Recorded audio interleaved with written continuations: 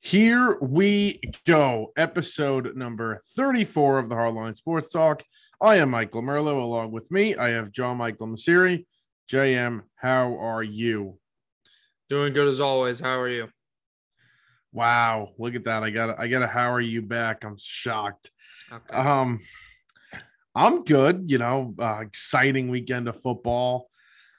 You know, heading up heading up to Boston to see some Mets Red Sox. Life's good right now. I really can't complain. Are you good though? I mean, you know, Giants lose a tough one on Thursday. Mets are basically out of it. Uh, the, the Mets that's done. The Giants really broke my heart Yeah. the other day. Win us They- a couple win a couple games though. Why don't you get a nice sweep in Fenway? That that would help a little bit. Yeah, no, no problem. Just Yeah, like do you helped us out with the Phillies over over the uh, summer. Yeah, do it do us a favor. Yeah, no problem. Uh, we're not going to talk about the Mets later, but we will talk about the Yankees. Um, but I do want to start in the NFL. Um, the New York Jets lost a pretty tough game yesterday. Zach Wilson throws four interceptions. His first two throws were interceptions. A few of them were like, what are you doing? But listen, he's a young guy. I think the overreaction of, oh, we shouldn't have let Darnold go needs to stop. That enough of that, right?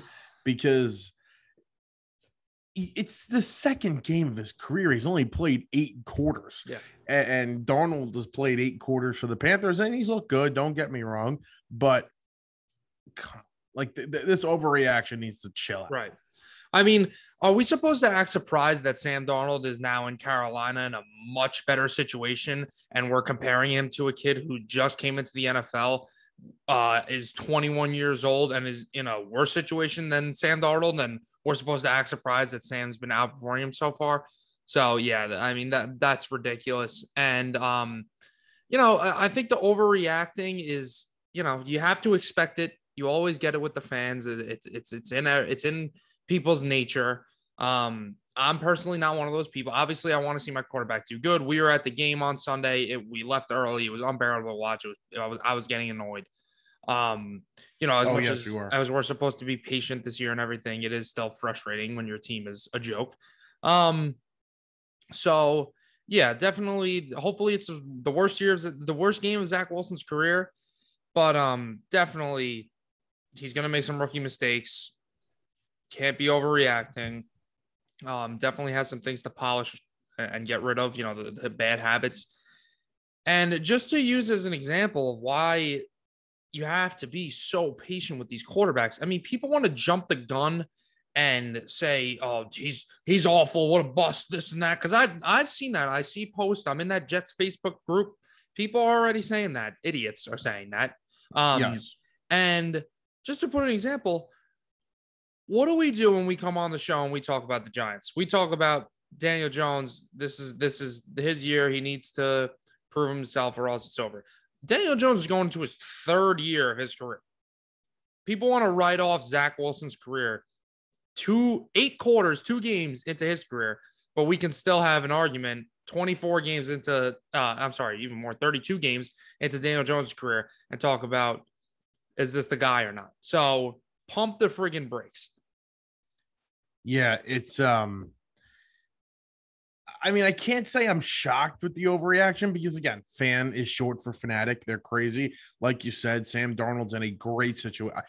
Listen, I think coaching wise, I think Darnold's in a great situation. I think Matt Rhule is a good head coach. I, I think Joe Brady is going to be a good head coach somewhere. He's the offensive coordinator and he's surrounded with pretty nice weapons. The offensive line's okay, not great, not terrible. So I mean, when you when you compare it to what even Wilson has now, or what Darnold had with the Jets his whole career, it is much better. Yeah. So to see Darnold again, two games look pretty good. I'm not shocked. I don't think this guy is going to be a star.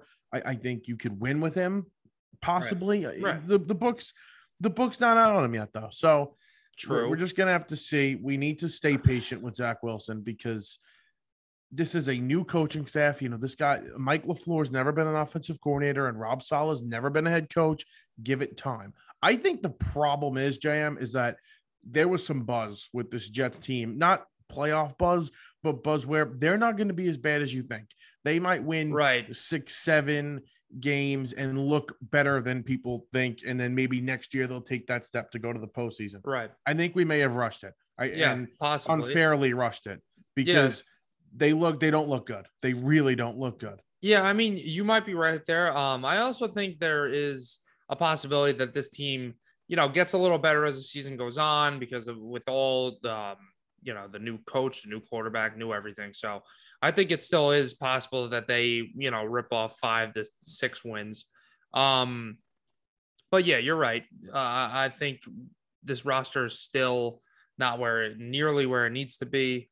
Um, you obviously still have a, a young rookie quarterback. You can't be expecting to win a lot of games. And, and you know, that's the difference with like Trevor Lawrence is struggling so far, Zach Wilson struggling so far. Mac Jones isn't struggling much, but if you watch the Patriots, they don't really put Mac Jones in a position where he could be struggling. Like he's in more, I don't want to say a game manager, but closer to a game manager role than those guys are because, you know, they have nothing to lose. They want to see they know they're not making the playoffs, the Jags and the Jets. They want to see their quarterback make plays. They want to see their quarterback make those mistakes to learn from those mistakes and not do them again and blossom as quarterbacks. But I think what you see with uh, the Patriots and Mac Jones, and I don't want to take anything from Mac Jones, he's played pretty well to start his career, but a lot of um, taking what the defense gives you, um, check check downs, you know, heavy run game, stuff like that. So they're putting Mac Jones in a uh, they're they're putting Mac Jones in the position where he's not going to lose them the game kind of a thing. They're trying they're trying to win games. Yeah. That that's what they're trying to do. Yeah, I, I think Jones has looked, you know, okay. His passer rating looks really nice, but other than that, he's he's not slinging it down the field. He he did have a nice uh, little touch throw over the shoulder to um I think it was Jakobi Meyers yesterday. Right. He's a, he's an accurate passer. He he was in college. I don't think that's going to change in the NFL, but this overreaction. Is But killer. yeah, just going to the back to the Wilson thing and the overreacting, like you you get the same thing with the Mets. The way Jets fans are, and they just want to be so damn pessimistic with Yep. everything. If Zach Wilson was lighting the league on fire, there would still be Jets fans that are saying, like, oh, it's so early. This guy's awful and whatever. And, you know, w- th- that's with certain, um, that, that might be correct in some sense in the way that they don't want to overreact. But in the opposite direction, they do want to overreact and say, this guy's horrible, bust, this and that. If you're on J- Twitter or Facebook or whatever you're on and you're calling Zach Wilson a bust already, you're just a dumb person. You don't have a high IQ. You have a small You're a troll. You're just a troll. Exactly. That's that's just what it comes down to. And Zach Wilson might be a bust three years from now. I don't know. But calling him a bust right now with seeing two games into his career is an absolute joke of a take. And I do not respect your opinion at all. It's almost like you're rooting for it too. At that point, Yeah. you're a Jets fan and you're like, "Oh, this guy sucks. I was right, Right. about him. We should Because, you know, Like, because Jets fans, as crazy as it is, Jets fans feel comfort in being terrible. And it's true. It really is. they feel it's like comfort in it's like- being miserable. it's like no, don't don't come with me here and and take the risk of investing yourself emotionally for you know there to be good things to happen. Instead, stay in your shell of misery and be comfortable with it. Just be like, oh yeah, the Jets, same old Jets, this and that, and and um, yeah, mis- misery. That that's that's how some people want to want to be, and sure, I listen. I we kind of share the same. It's almost like a, correl- a direct correlation between Mets and Jet fans. So I, I understand exactly what you're saying. Um, Aaron Jones is really just putting on a Monday Night Miracle for some people. he's got three touchdowns now. Four. He just scored another. 41. He has 41 and a half points. The Monday night game's almost He over. always We'll has a game like little this.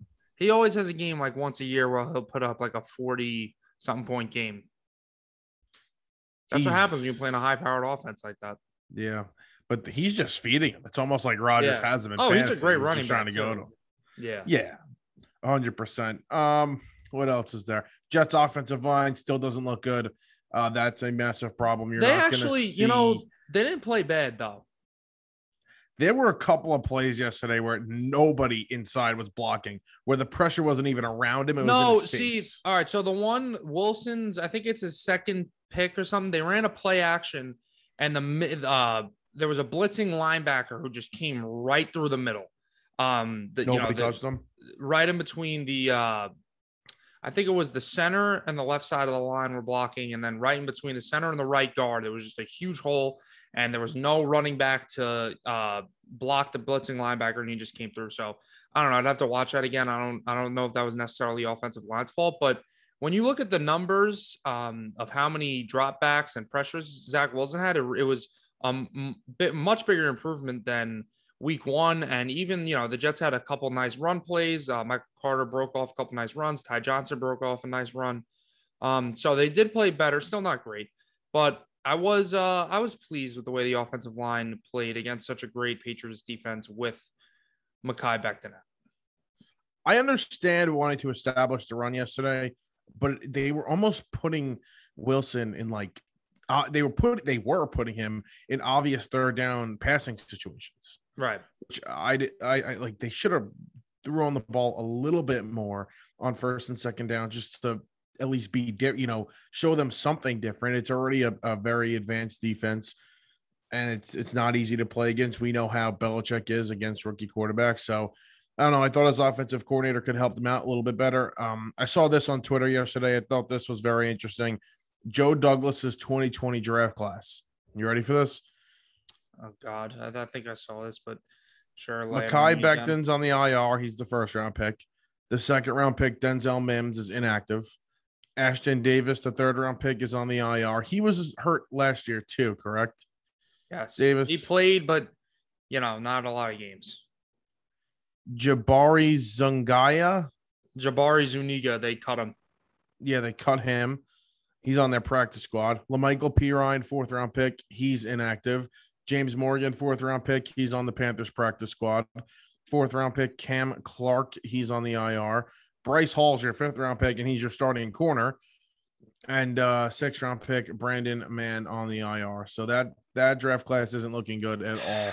Yeah. Especially the the Mims pick. The Mims pick looks terrible right now. Yeah, it does look terrible. Um, I mean, we know how good Becton is, but um, unfortunately, he's hurt and hopefully that that you know that was one of the concerns when they drafted him with how big he was his ability to stay healthy so um hopefully he can do that for uh, the bulk of his career but um if you want to get even more depressed than that um or if i want to get even more depressed than that you can uh take a gander at the jets second round not even just second round picks just their second round receivers in the past like 10 15 years and it is uh it's one hell of a list. And hopefully Elijah Moore is gonna like break that because I thought Denzel Mims was gonna be able to do it. Now he's not even he's literally a healthy scratch. So hopefully um Elijah Moore can break that curse. But just a couple names that come to mind. You got Denzel Mims, you got uh Stephen Hill, which was a disaster. Oh. Devin Smith, guy from Ohio State, was compared to DeSean Jackson. He's super fast. Yes. That was a disaster.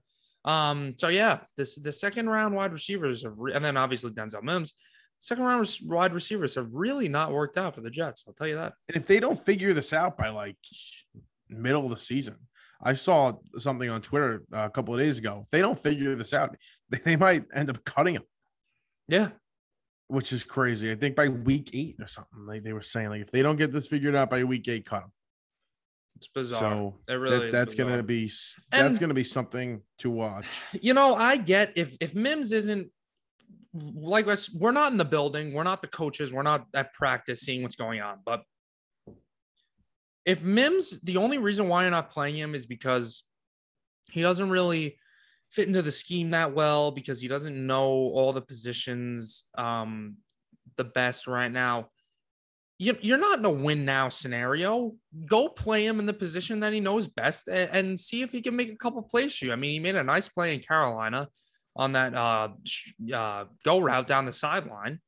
And why not go see him make a couple plays and maybe, you know, uh, you, you realize, oh, this guy's a little better than we thought. Or like, what do you have to lose? Instead, you're playing uh, Vincent Smith and Braxton Berrios and all these. Like, come on. Yeah, yeah, you're right. You're you're not in it. You're not competing for a playoff spot. You might as well just use use him when you can. Use him Yeah. where he does actually fit. I, Jets fans are really high on this guy. I wasn't out of out of the draft, but I I, I thought he would work. Like I I thought it would work. I mean, I knew that there was a little bit of work to be done on him, but we were talking about him as a first round pick. Um, you know, Yes. it's kind of the same thing with Elijah Moore.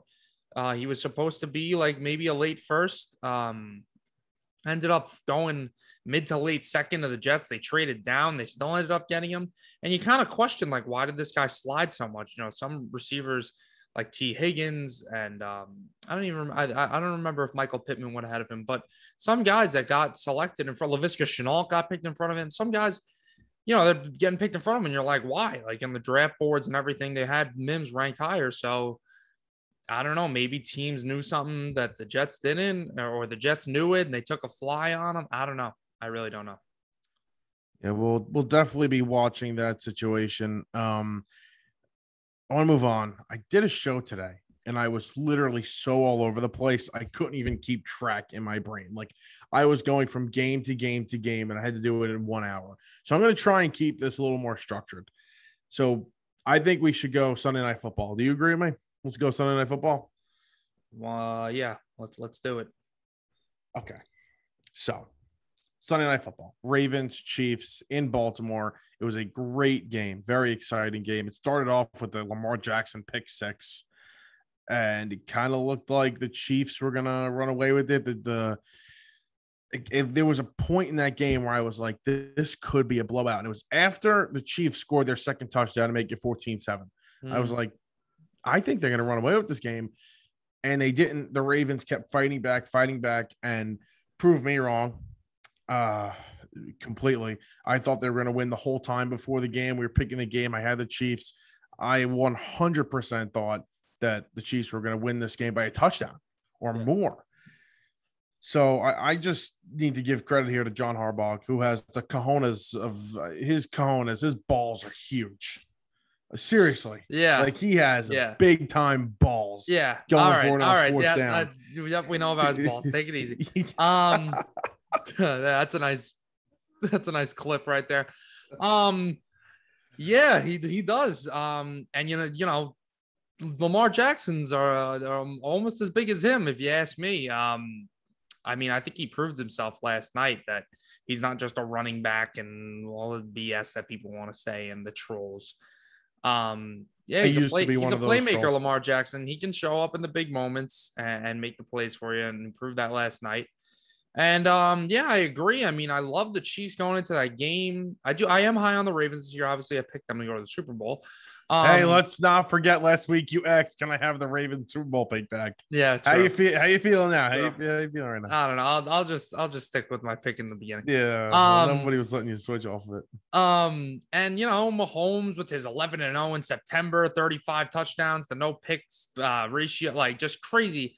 And, and you just figured that the Chiefs were gonna, you know, it was gonna be a decently good game, but the Chiefs were gonna end up winning by, like you said, like a touchdown or something. And um, that's not what happened. I mean, I think we both in our picks had Chiefs minus three and a half, correct? Yes, Yeah. So I was, um, all, I was all over. I was all over the Chiefs.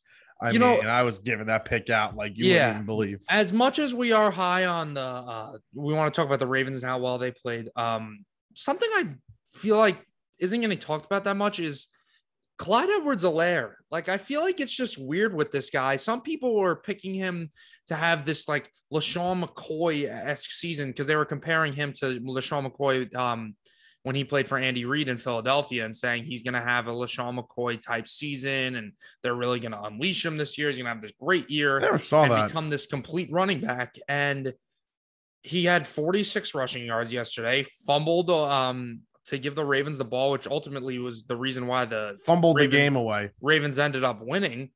And um, yeah, this guy's just really not that great of a running back, if you ask me, from what I see. And they, and I don't think they they really trust him that much because they don't give him the ball that much. I think he's been overrated since he's been in the NFL just because of the offense he's in. Yeah, It's crazy to me because he's playing in a very pass first offense. I was talking to one of our friends last night and he said the Chiefs should just throw the ball 80 times because yeah, 80 times a game because what's the point? The the Mhm. guy is Mahomes is so so good. He can make any play you want. So yeah, I don't I don't I never bought the hype with uh Edwards-Helaire. I'm still not buying it, although I did draft him pretty high in one of my fantasy leagues last year. Oh, but no, like second roundish. So You see, uh, you see Jackson Mahomes. Yeah, he was pouring water on some Yeah. uh, Raven fans. Look That at was him. pretty funny. I'm not even gonna lie. He's a little salty. Yeah, he, a he posted bit. a TikTok. He posted a TikTok last night. And he actually had like a nice comment. It, it was funny. I was laughing. He was like, "Put these birds back in their cages," and I was like, "Okay." You get it because the Ravens playing the Ravens. yeah, very funny. He he's funny though. Yeah, but kind of I we didn't really like explain why John Harbaugh has these big balls, and that's because um he went for it on fourth down. And Right. if he if he doesn't go for it on fourth down, it was like fourth and two from their own like 45 with a minute to go. Chiefs had no more timeouts. The Ravens only had one more timeout. And if he doesn't go for it there and he gives the ball back to Patrick Mahomes, no matter where the ball is, the chances that Mahomes goes down and, and gets them to at least field goal range with Har- uh, Harrison Butker, they're, they're going to win the game. So Oh, yeah. Harbaugh had one decision to make that was to go for it. It was the only decision, and good for him. I love John Harbaugh, and I listened to his post game uh, when he was in the locker room, his little speech to his team, or at least what the, they showed the media, and you know, with that the cursing, and he he's just he's the man. I love him. I like his brother too, but I love him. Right. Yeah. and uh, um, good for them, and good for good for Lamar. That that's a Yes, big- that is really. that's a for Lamar. monkey off Lamar's back uh, Yeah. back right there. That is big time. Yeah. That's Um, the correct term, right? Yes. Monkey off the back. Yeah. Yeah. Um. Yeah, really, really good decision for Harbaugh there. Risky decision. Uh, it was cool seeing it live. I noticed it. I, I, I don't know if a lot of people did notice it, but I remember just I just read his lips live there. He was like, "You want to go for this?" And, I was, and Lamar was like, obviously he said yes. So that was really cool to see. Um, Yes. and they just needed a yard. And I'm surprised the he put a lot of trust in his offensive line there because sometimes you know you'll see people run up to the line and either they'll do a hard count or they'll do a QB sneak. But that was, you know, there, there was that at the shotgun, and it was just a QB power, and Lamar kind of just bounced around, found the hole, and got a couple yards. Um, but yeah, the John John Harbaugh definitely um, with a risky move, uh, and it paid off. And I think that's what happens with good coaching. You know, those are two really good coaches facing off against each other last night. And that just proves to you that, um, you know, maybe the Chiefs were the favorite, but good coaching uh, can win you games. And I The offensive line for night. the offensive line for the Ravens, which didn't play well week um, week one in Yeah. Las Vegas, stepped up yesterday. yep. I also did. think it's a um the Mon- uh, Sunday night, excuse me. I, I also think it's a combination of that Chiefs defense being a massive problem. yes, 467 total yards. That is not good. I agree. Yeah, that that Chiefs defense, um, it's got a lot of holes in it. I mean, they have some some good players, obviously, in Tyrann Mathieu and um, Frank Clark, but yeah, it's it's it's it's not the best it's been. And you know, it's never been like that in Kansas City. They've never had a fantastic defense, but it's always been like good enough to get by. But that could really end This up isn't a- good enough to get. that could end up being a isn't good enough to get by. I mean, they probably should have lost that game against Cleveland. I think Baker kind of gave that away or, or or whatever, but the Browns were marching down the field on them. I mean, at some point they were getting eight nine yards a clip just on the on the ground. They beat them for three quarters. The Browns. Yeah. Uh, uh, last Sunday, a hundred percent. Mhm. And it was like you said. You know, Mahomes made some plays deep downfield, and Baker handed them a game. Right. You know, it's very impressive by the Chiefs to, uh, I mean, by the Ravens to limit Tyreek Hill the way they did. I mean, he only had about three catches for 15, 14 yards or something like that, which is Yeah, really helped me in incredible fantasy. against Tyreek Hill. He kind of has he he has a few of those games though. He's kind of he's not like inconsistent, but he'll have like one of those games where he does nothing. Or co- I've Yeah. never ha- I haven't had him in fantasy a Rare. lot. You've had him in fantasy. I feel Yeah. like he's had a couple of these games. No, I had him in fantasy last year. I mean, he's a fantastic receiver and he he puts up crazy numbers, but yeah, he's definitely a little on the streaky side just because that's the kind of player he is. He's like a big shot player, you know, uh, run after catch guy. So Yeah, he uh he he had the obviously he had that 58 point game against the Bucks last year, 250 yards and three touchdowns, which was insane. But yeah, he's gonna have those. Uh, I don't know about this. I mean, that was pretty drastic. I mean, I'm thinking he's gonna have more of those four for 50, four for 60 games, not three for Anything 15. That's insane. You know, uh, Patrick Mahomes has more interceptions than Daniel Jones this year. Um. Anyway, that interception was not good. I, I mean, he's just trying to do too much there.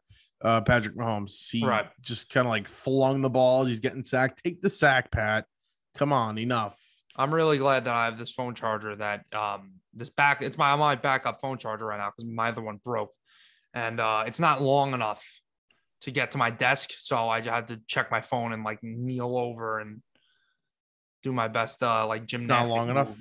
Get real flexible mm, okay Um, you you with all these uh funny jokes tonight you're on a roll I'm a shock jock John today. What can I big say? balls listen, I'm a shock jock.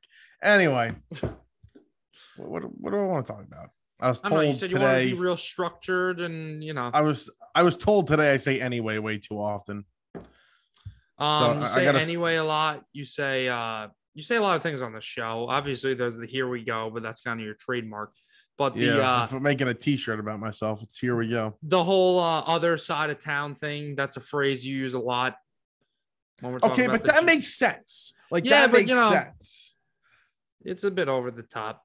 Even with the Giants and the Jets, though, it doesn't really make sense because they I- playing. I don't say it with I don't. No, say you did. Giants You said that. You were like, "Oh, let's go over the other team in town or other side of town," whatever he said. Well, if I say the other team in town, then that's yeah, well, that's different. No, but town. you said the other side of town. They play in the same town. they do. They play in the same crappy stadium. I don't remember ever saying it. Swamplands in the middle of New Jersey. It's disgusting. I actually wanted to put a bullet through my head sitting in that traffic yesterday. Hold on. I am never driving to that stadium again. I'm taking the train every single time. Because you know what? You got to be an idiot not to be able to take the train. People Yeah. are like, oh, it's so difficult to take the train. You just you go to Penn Station, you go buy another ticket at the trans New New Yeah. Jersey You know what? Transit. You're right.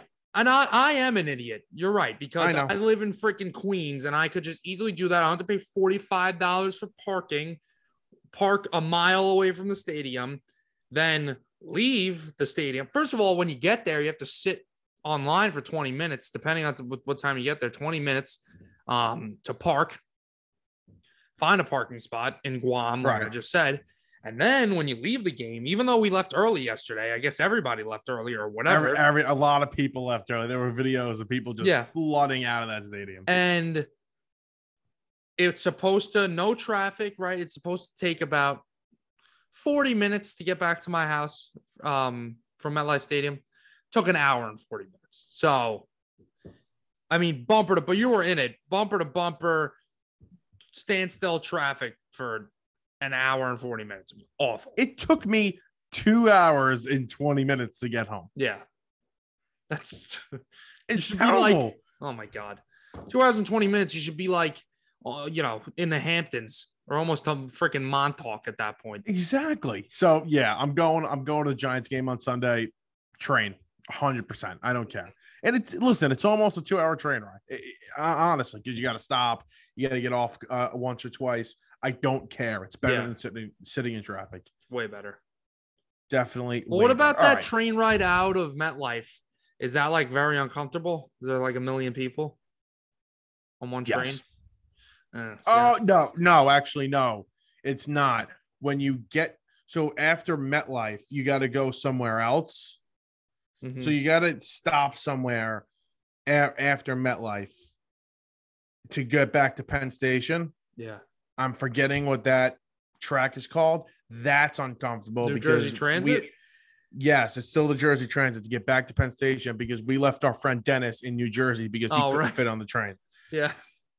So, and I was literally like this. It was right before the pandemic too. I'm literally up against. I, I can't move my arms. I'm up against the guy. Like if he turned his head, me and this random guy were making out. oh, yeah, you'd be into that. You sure you don't want so- that to happen? No, I mean he he was asking me. He was like, at least take me out to dinner first. You know, just how close we were. I was like, Pause. Uh, So it was it was an interesting train ride though. but it's fine. I mean, just cry about it. It's better than sitting in traffic. Yeah. Okay, let's move on from train talk. Um, all right, I do want to talk about the Cowboys and the Chargers because, you know, whether or not the Chargers, no, say it, say it. What? Who was right? Who was right? I got crushed. Yep. I got crushed with I the was right. Chargers yesterday. Yep. Um, listen, the Chargers lost themselves the game because they made a lot of mistakes, but they also were not helped out by the referees. The Chargers have some of the worst luck in all of football. There we go. They either they come on, JM. You What? really What was Really? problem? all those bad calls against the Chargers all day. That sack call on Herbert. Are you kidding me? That- That's not a sack. Please. That is not a sack. He was not down. Let him make a play for crying out loud. You're blowing a whistle way too early. Why don't you get Jerry Jones's you know what out of your mouth? Oh my God. Enough of that. I mean, the boys. That's a great win for the Cowboys. Great one for Dak. I mean, Dak didn't even play Screw well at all. Thanks for the seven Screw points, them. Dak. Yeah, Tony Uh, Pollard, RB1. Um, yeah, that's uh, How on a scale from one to ten, because you have Zeke in a couple of fantasy leagues. How worried are you on a scale from one to ten? I'd say I'm like uh, five, a five. I'm like a five. Um, Okay. You know, in in in the two in two of the leagues out of three, I'm probably like a five or a six. And then in the other one, I'm probably like a, a four because I also How have Tony leagues do you Pollard. have So at in? least that's like a, a fallback. I'm in four leagues. I have Zeke in three. Oof. Um, yeah, I'm all in on Zeke. And then the other one, I got Derrick Henry, which was very nice. But Yeah. um, He helped me yeah, in I mean, fantasy. Pollard did get a lot of snaps and a lot of touches, but um, you could still tell Zeke is the number one guy. I mean, the Pollard Yeah. touchdown, Zeke was actually on the field for that, but it was a two running back set, and they did a bit of like an end around where they faked it to Zeke and, and gave it to Pollard. Um, so no, I don't think Tony Pollard's going to be ripping off 100 yards and a touchdown the rest of the year every game. I think Zeke's going to definitely lead the team in rushing and lead all running backs in receiving yards. So, um, do I think Tony Pollard has a bit of a larger role than we anticipated going into the season? Yes. Um, but I think they'll they'll be just you know Zeke will be just fine with that. I think he can Why don't still you, uh, on RB one easily. Why don't you just trade for Tony Pollard? Yeah, I could do that. No, in the, in the one that I have Zeke and Tony Pollard in, I was like, you know, at one point I might just have to play both of them. Just Yeah. see what happens. But uh nah, Sony Michel I actually have. And Darrell Darrell Henderson's got a little injury now. So uh that might be a nice little little start next week. Yeah, Sony Michel, 13 for 20, a touchdown. Um, yeah, I thought the Cowboys played okay. They Right. didn't play great. Uh, but listen, a, a win's a win. Mike McCarthy trying to lose some games here with uh clock management. He's just so good. He's great. That's really sarcastic. Oh, That's yeah, I was gonna really sarcastic. Yeah, and you really know, Greg, happy. Greg Zuerlein, I'm so glad you brought that up. Greg Zuerlein bailed out Mike McCarthy. Yeah. Did you not? Okay. They had the ball with like 17 seconds left, and it was third down, and they still had a timeout. So they decided, let's let the clock tick down to four seconds or whatever it was, and then let's call a timeout and let's kick the ball on third down. Why would you not just get to like get one more play and throw the ball in the middle of the field, try and get a couple more yards, and then you could call your timeout? Or even you- run it. You have the free or run it exactly. You have the freedom to do whatever you want because you have that timeout and you had plenty of time to do it. But Mike McCarthy, for whatever reason, decided. And don't don't tell me the oh well, there's a possibility they could throw the pick or there's a possibility they could fumble. I'll take that risk when I'm trying to kick a 56 yard field goal to win the game. Like I'll take the risk. And I think my players are smart enough to not turn the ball over and trying to get an extra 10 yards or five yards. I disagree with you. I wouldn't have thrown it. I understand you wanted to get an extra play, so you run the ball. That's fine. I'm all for that. I wouldn't have thrown the ball there. I'm with him. I don't I don't see why not. I mean, you know, they they got down the field by throwing the ball, and I think Dak's smart enough to where he could just throw it away if nothing's open, or you just do a quick little, you know, five yard, 10 yard route, whatever, and and pick up a couple more yards. Even a screen pass, something. You could run the ball, pass Or run, it. pass or run. The fact that he didn't um run a play there is just ridiculous. And he's getting it's it's not a story because you know they ended up winning. Zuerlein made the the kick, which was no chip shot. That was very impressive for Greg Zuerlein. And um I think if Greg Greg, Zuerlein that's what they if Greg Zuerlein misses that kick and the Chargers win an OT, that that's a brutal, brutal decision by Mike McCarthy. How we feeling about Justin Herbert? I thought he played all right. Um, a couple of yeah. picks were not so good. Herbert's the man. That's it. He's he's pretty scary. He is. He's gonna be uh He's- he's gonna be around for a long time. I can't wait problems. for uh him to, you know, rattle Mahomes' feathers a little bit in that division.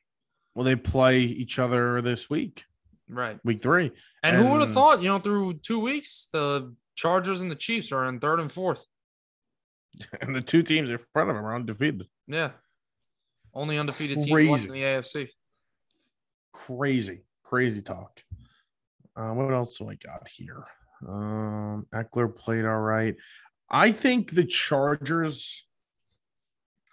Uh, would it shock me if the Chargers like can beat up on the Chiefs a little bit? No, because of that defense. Like, I think it's going to be a shootout.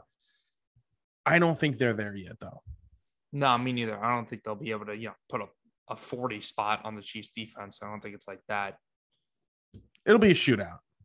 You know, Anthony Lynn's the coordinator for the Lions now. I noticed that on Monday Night Football tonight. Yeah, I, I noticed that too. Um, yeah, do, don't see the fit there. I, I don't see Anthony Lynn as a fit anywhere. He's not a very good coach, if you haven't noticed. I know, but I think you know he could be a good coordinator. Like Todd Bowles wasn't a great coach, and now he's the best defensive coordinator in the NFL, basically. So Could we uh talk about my Giants for a minute? sure, I got this like tingly feeling in my body about my quarterback, Daniel Jones. Like I'm tearing up. you're like I'm watching tearing these, up. like I'm watching these highlights of him the other day, man. He looked good. I mean, he looked good. No Daniel Jones highlight should make you tear up. Maybe in like a oh my god, this is so hard to watch way. What is wrong I with feel you? You with your uh, feelings. oh, I got a feeling. You just said uh, last week. I got a feeling the Giants are going to win this game against Washington. How'd that work out? I should have won. Should have won by 40. Um, I feel good about my quarterback. Um, I'm excited. I'm so I am so excited to go to this game on Sunday. Watch him against the Falcons. He should put up another big time performance. I think he has the second highest pass rating in all of football, or was the second highest pass rating last week. I don't know though, but it's like 95. He's the man. Daniel Jones, the man. I want him to work out so badly. Like I've never wanted another player to work out on one of my teams more than I want Daniel Jones to work out here. Like I want him to be the guy so badly. I can't believe You're you shaking your head. I Let's can't believe you just said I got teared up. You got a tingly feeling watching Daniel Uh, Jones the, te- highlights. the tear up. Did you like knock your little- funny bone or something when you got a tingly feeling? The tear, the tearing up part was a slight overreaction, but the tingly. fe- I'm watching him. I'm like, oh my god, that looks great. Like I little tingly feeling, like goosebumps. Like wow, maybe he's the guy. We'll see though. Do it against another team that's not the Washington football team. Yeah. But um, just quick, a little uh, you know, it, it's always something with one of my team's drama. Um, Kenny Golladay was seen screaming on the sideline at somebody. Thankfully, it wasn't at the quarterback Daniel Jones. It was just at his coach. So I don't know, how you make you know I don't know how people can make that swing that to be a good thing, but spin that. That's the word I was looking All for. right, spin that into a good thing. He was screaming at Jason Garrett. Oh, very Um, good. Okay. Thank God. And he called him he called him worried. JG and not Coach Garrett. Yeah, uh, what was- else? I was real. I was really worried. By the way, just pump the brakes with this whole Daniel Jones uh, passer rating thing. First of all, um, I don't know where you got. He's like second in the league in passer rating. He's a 96 passer rating, which is like 17th right now. Um, behind Oh, then I guess it was guys like Taylor Heinicke, uh, Mac Jones, Tyrod Taylor. Tyrod Taylor has 122 passer rating. That's insane. Actually, Yeah. Uh, who needs Look Deshaun this. Watson when you got Tyrod Taylor? oh, it wasn't passer rating. That's my bad. That's on me. Do You want to know what it is? No. I was driving when I saw it. Don't. Passing grades among NFL quarterbacks per PFF. Number one, Tom Brady, 91.8. Oh, yeah. Number Pro two, Focus. Daniel Jones. Let's go. Let's Yeah. Pro go. Football Focus. All reliable, baby. Daniel Jones. Let's Uh-huh. go. The boy.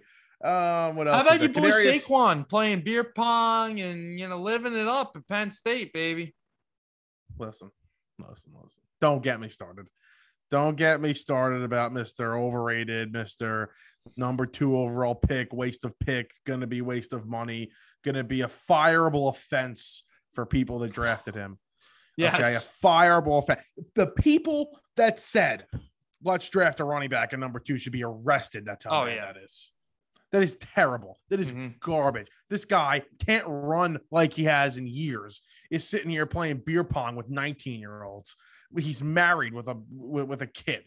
Why doesn't he grow up a little bit? Okay, instead of being at Penn State watching a college football game, you should be rehabbing your knee because you're clearly not healthy. Enough of you, Saquon. Enough. And his white his white shirt for the whiteout. Got lucky and won the game to Penn State. Go scratch. They can all go All right. scratch. All right. That pissed me. No, it pissed me off. He's playing beer pong with a 19 year old. He's not ready to go. He can't run. You act like the guy's 40 years old. Was he 24, 25? If Saquon would have ripped off like 120 yards and a touchdown, the Giants win. He can do whatever the hell he wants, in my all right. opinion. All right. Okay, he go flip cars at Penn State. Like, Yeah. Well, maybe you if know, he didn't have a bunch of morons blocking for him, I'm sure he might, you know, get a little closer to that 120 yards. yeah, um, you might be right. Um, it was. I saw this film play. People were talking about how uh, Joe Judge and Jason Garrett got conservative on that uh, after they picked Heinicke off with the Bradbury. Apparently, they ran a trap play, and Saquon should have had like a first down, and he just completely missed the hole. Oh, good. Like, what uh, what what happens if what happens if Joe Judge, uh, you know, goes four and 13 this year? I don't want to talk about it. Um, Okay. I'm going to tell you this. I was listening to Mike Francesa and Chris Russo a couple weeks ago. And this is like, I guess, from like somebody they know. They said that Bill Belichick's gift to the Maras was Joe Judge. So the Giants wanted Josh McDaniels. Like that was rumored. That was big time. They wanted him uh, four years ago, and then they really wanted him when they hired Judge. And Belichick went to Mara and said, "You don't want McDaniels, you want Judge." And they said, "Interview Judge." And he, they gave him permission to interview Judge. They interviewed Judge. He got hired. So, so uh, no matter what happens, Judge is going to be the head coach this year. I'm confident in that. Yeah, I mean, I don't, I don't know if they would go to the extreme to fire him after two years. And you know, the Giants might end up getting eight wins this year or nine wins and whatever. And uh, we know Judge is the guy, but I uh, I like getting into these little, you know, what ifs. It's fun. don't do it with the quarterback, not my head coach. He's staying. All right. Um, You get that tingly feeling about Joe Judge? I would one, run through a brick wall for Joe one eye Judge. I would, tearing up for Judge, the other for Daniel Jones, or I would do anything for Joe Judge. Coach Joe Judge can come into my house right now and say, "Run through a wall," and I would do it. okay. I say it with a straight face, I would do it. Hmm. Motivates the hell out of me. Nick Gates versus the world. Nick Gates walking after two days of his ankle being the other way. the vibes are fine. Okay, with the New York Giants, we're gonna steamroll the Atlanta Falcons, and then we're gonna get back. On I hope so. I certainly hope you will. Thank you. I appreciate it. All right, let's let's take a. We didn't get to anything, everything, but um, did, did the Packers win yet? The Packers are. There's like a minute left. They're about to win. No. Great. Aaron Okay, Jones Packers off like 41 fantasy points, four touchdowns. The game's over. You clown. You know this dude, Eli and Peyton. I was watching that broadcast. I like it. Yeah, Peyton's backpack, and I gotta say, this dude Eli's just Ugh. sitting there like with that dumb look on his face. You know what? Um, En- enough of you and Eli. Okay. Like you clearly don't like the guy for whatever reason. Enough. Yeah, Eli is the man. He's Not funny as hell. yeah, not all of it. He's funny as hell. Yeah, we don't have to go there. Up, that's a fantasy W for me. Thank you Oh, very much. great. I'm 2 and 0. And I'm Congratulations. 0 2 in our other league. So that's good. Oh, good. Uh, all right, let's take a break. We didn't get to all the football, but there's too much, you know. Yeah. And I got to be up at six o'clock. Oh, so okay. We'll take a quick break. Let's talk uh, some Yankees playoff hopes and the Mets front office search. I want to talk about that when we get back. Here we go, episode 34. We are back. Uh, let's get into some baseball here. The New York Yankees are pushing toward a they're, they're in the middle of a playoff push. They're trying to get in. They are half a game back now with the Blue Jays loss and the Yankees win. So um, listen, they're still fighting. Um, Yankee fans being a little pessimistic here, including yourself. You didn't think they deserve it. You don't think they sh- they will get in. I'm still on the side they're going to get in, but but we'll see. Uh, the blue the Red Sox are ahead of them by how many games? Two two and a Um, half or two? it was uh two uh two uh, I don't know. Before today's games, I believe it was two and a half. So they're so the Yankees are down two from the what number one wild card spot and a half uh, half game behind the Blue Jays. So listen, they're right there. Um, the thing with the Yankees is they're gonna have to play both of all those teams. They're gonna have to play the Red Sox, then they're gonna play Toronto, and then they're gonna play Tampa to end the year, three game series each. So that's gonna be that, that's not easy to end the Right. season there. Well, that's what it comes down to. I mean, they got to take care of business in in this uh Rangers series. Um, you know, you have to at least take two out of three. You really have to sweep, but you could afford taking two out of three. But that means you're gonna. It all comes down to you're gonna have to beat the Red Sox. You're gonna have to beat the Blue Jays when you face them, and they're gonna hit that slate of games after this, um, where they they can't have a bad stretch anymore. They have this nine game stretch three against Boston, three against Toronto, and three against Tampa. Um, and those games against Boston and Toronto are extremely important. Obviously, they're chasing them in the wild card standings. And yeah, there's a reason why, you know, you got I, I feel pessimistic because this team has just been so up and down the entire season. And, and in the month of September, they have not been playing their best baseball at all. And um, you just kind of feel like they don't really even deserve to make it. They just got absolutely shellacked by the uh, Cleveland Indians the past two games. I mean, a run differential of 22 to 4 in those Oh, last two games of the series. Um, so, yeah, Gerrit Cole's pitching the Friday night game against Boston, the first game of the series. So, hopefully, um, they win that game. And yeah, this is uh, this this has been a roller coaster. This is they always say that you know the season's a roller coaster. Uh, the baseball season. Well, well, the Yankees has been Space Mountain or King, Kingda Ka or whatever the biggest freaking roller coaster in the world is what the Yankee season has been. I mean, going from terrible to amazing to back to terrible to amazing. Um, so Yeah, yeah. we'll what's see. a little tired. a little tired. Sevy back. Did he pitch tonight? Savvy back. Um, nah, that's a great question. I don't, I don't believe he pitched. Um, could be wrong. No, no, he did not Sevy pitch. back. Sevy back coming out of the bullpen. Yes, he is coming out of the bullpen, and you know, I, I got a, I got a couple things to get off my chest here with the Yankees. Oh yeah, The no, first- please take it. the first thing I want to talk about, I've been the biggest supporter for Gary Sanchez his his entire career with the Yankees. I mean, you that you see the talent uh offensively and see the way what the power and how good this guy can be. I think I'm done. I think the Gary Sanchez experiment is over. I think you move on this offseason. Um, if you want to keep him for one more year, I get it because he's going to be a free agent after next year. You let him walk in free agency, whatever. I, I'm I'm at peace with letting Gary Sanchez go. The bat does not make up for the defense anymore. He's batting around 210. Um, he is, his OPS is, I believe, 750s around there. Um, and the, the, we know about the defense. Uh, the whole one knee catching thing, they've tried that. Uh, and, and the defense hasn't been awful. Uh, it hasn't been good, but it hasn't been terrible. Um, but I, I'm- I think I'm done with Gary, and I think they need to move on. Um, and yeah, that, that that's my that's my beef with uh what the Yankees got going on right now and, and what I need to get off my chest. I think I'm done. That's your boy. I'm surprised. It's Yeah. a sad day. It is. Um, and, and it's it's bad because I think Gary always got a bad rap, and it's kind of why I was and still am. Um, so even though I want him gone, I still wish the guy all the best. But I think he always got a bad rap, and I felt bad for him. And, and people questioned his work ethic. And um, there's no doubt that I think he's one of the hardest working guys on the team. Literally, I mean, the amount of things that that guy's tried, and you know, working with the coaching staff, trying to improve his defense, and I think it got to him. I think you know it- over his career, it just got to him, and you, that's why the numbers have dipped offensively, and he he just kind of worked himself too much, um, and I think the pressure got to him. So I'm done. That's that's it with Gary. You're out on El Gary. Um, did you see Suzyn Waldman last yes yesterday, Saturday, about- Sunday afternoon? About them booing Cole. Yeah, she so she basically said like, "What are you people doing?" or something like that. Like Mhm. very like nasty toward the fans. Listen, I'm a booer. I'm not gonna lie to you. I'm a booer. I I boo my own players. I'll boo other people's players. I don't care. It's my right. I'm a fan.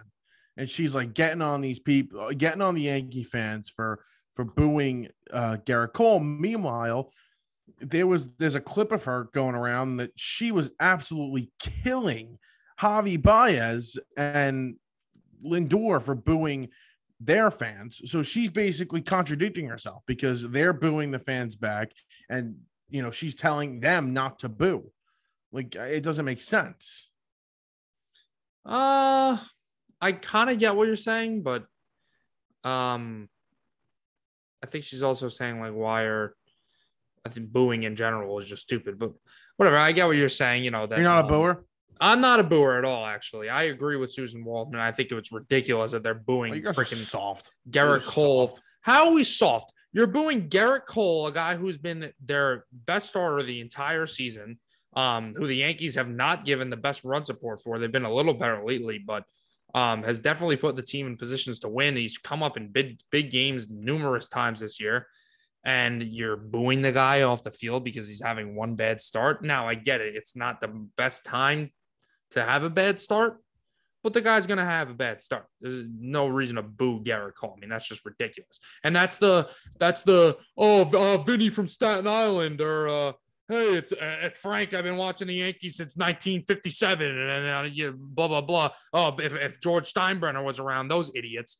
Those are the people who are booing Gerrit Cole, not the guys who keep track and, and keep up with the team all the time. It's just the the morons who come to the stadium once a year and if the Yankees are losing, they, they like to boo and talk about if George was around and, uh, you know, Mickey Mantle had seven home runs in a game one time and, and blah, blah, blah. It's those. Hey, morons. listen, my pitcher's not having his day, no matter who it is. Uh, offensive player goes off for with the golden sombrero. so DeGrom, I'm booing. DeGrom goes out, goes four innings, gives up six earned runs. You're getting up and you're booing him off the field. I mean, that's never happened. so You're not. Yeah. even- Okay. I can't even. No, you're a fraud. You can't say that. You can't say that. I can't not- even envision that Okay. happening. Like I Right. can't He's even like never put had a myself in that before spot. DeGrom. Yeah, of course. Um, yes, if it's in a big spot, yes, I'm booing him. No, I'm you're booing not. him off the No, field. I- yes, I am. No, you're you're you're, you're full of crap. There's no way. I would boo him. DeGrom. I'm a booer. I am a big time booer. I believe in it. I take pride in it. That I am an a hole and I boo my own players off the field. I am proud of it. I would if Degrom comes up in a game that the the Mets need to win It's that's just team they should beat. You're What? you're you're you're embracing your ignorance by booing. Yeah. booing Jacob. Sorry, I I pay a lot of money to go see them play. They make Right. a lot of money. Oh, boo, Yeah. Degrom! You with your your seven WAR. Oh, boo! You had one Yeah. bad start. Oh, get off the field. Yep, I would, I would boo. That that's me. But anyway, the Gerrit Gerrit Cole got helped out with his Cy Young chances today. Robbie Ray, Robbie Tight Pants Ray didn't have such a great start. It wasn't like awful, but he didn't go more than five innings. So um, AL AL Cy Young race still wide open, just like the AL wild card race. Yeah. And a wild card. How about the St. Louis Cardinals? Jesus Christ. Let's go Cards, baby. Come on, Yeah. I'm rooting for them. I hope What? they get in. Yeah, I'm rooting for them. Oh no, Phillies.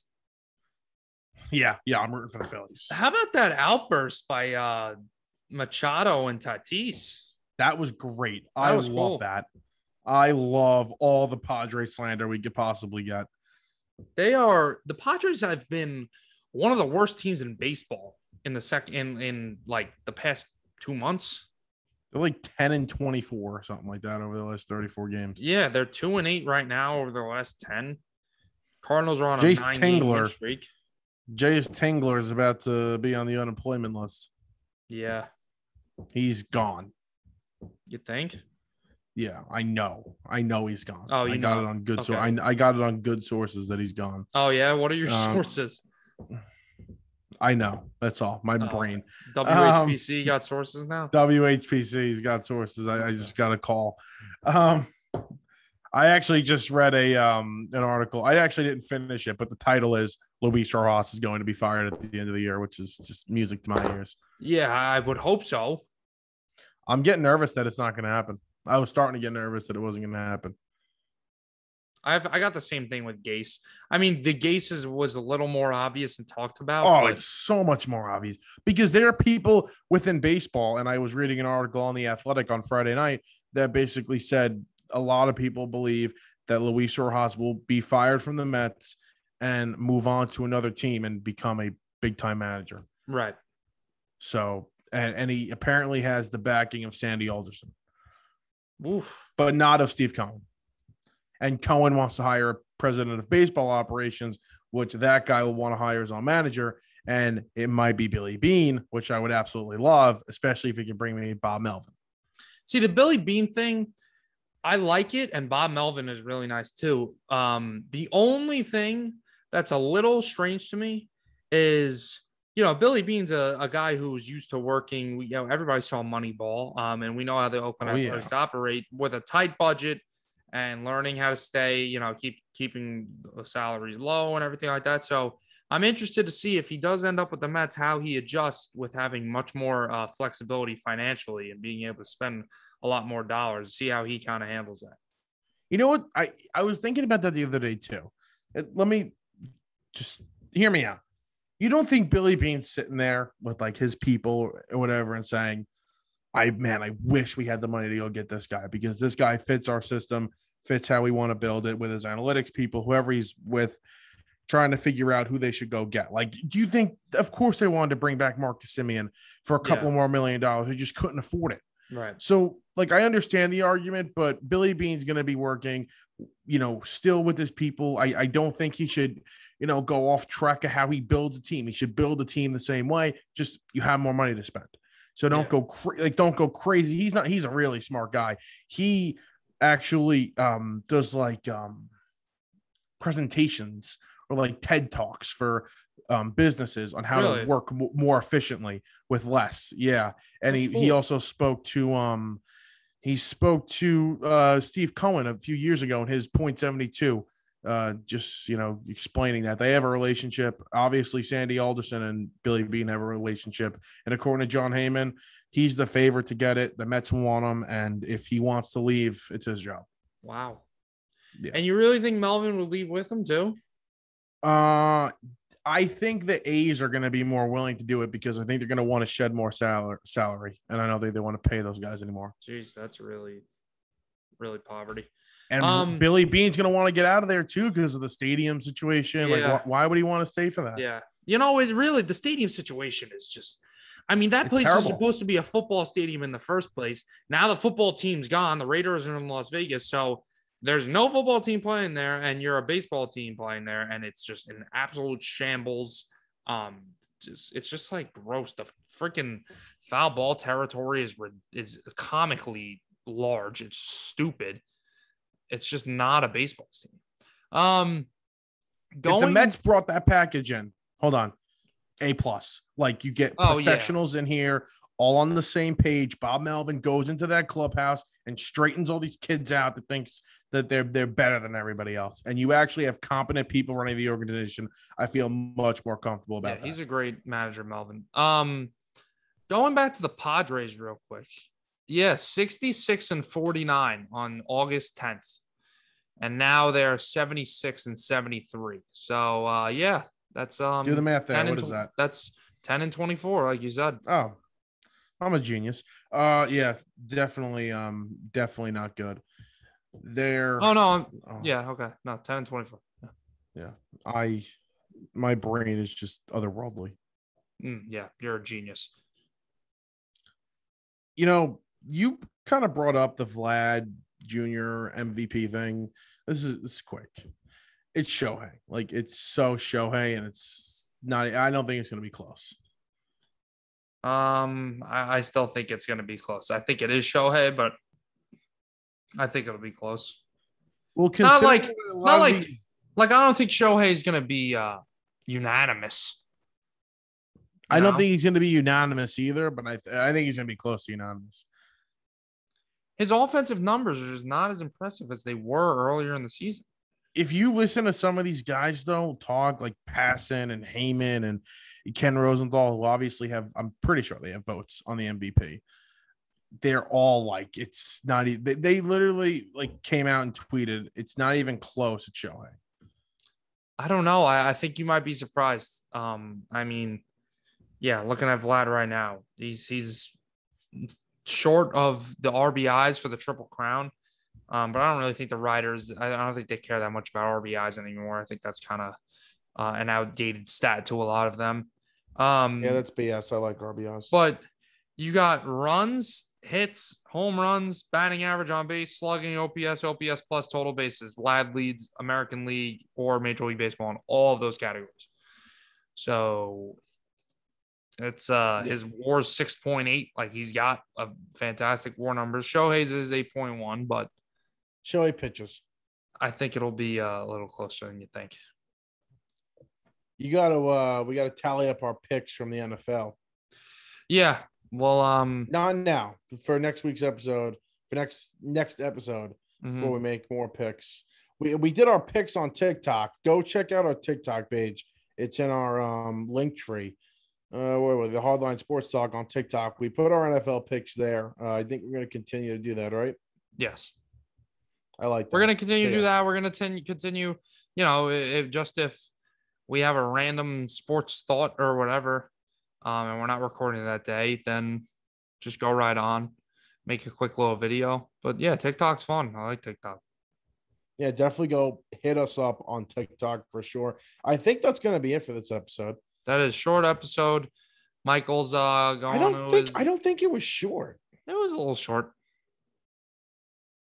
A little short, a will say. A little bit. Um, yeah, I'm I'm heading to sleep now. yeah, and I'm gonna head I'm gonna head to Boston. Go watch some Mets Red Sox. Very excited. Mm-hmm. Um, we're getting right into it with the New York Yankees. This is it. This roller coaster season's coming to an end. Whether you know, are they going to get in? Or are they not? We'll see. Next nine and the next eleven games. There's eleven games left, so got to get it done. This weekend, right? Against the Red Sox in Fenway or home? Um, in Fenway. Okay, there we go. Yep, going to the game tomorrow. Let's go Yanks. Should be fun. Hopefully they win. Hell yeah. All right, so we will definitely talk to you guys next week. Uh, not the next week, this week, but later in the week. hmm Uh, please send us voicemails, questions. Our email will be put in the description. Uh, have a nice uh, couple days here.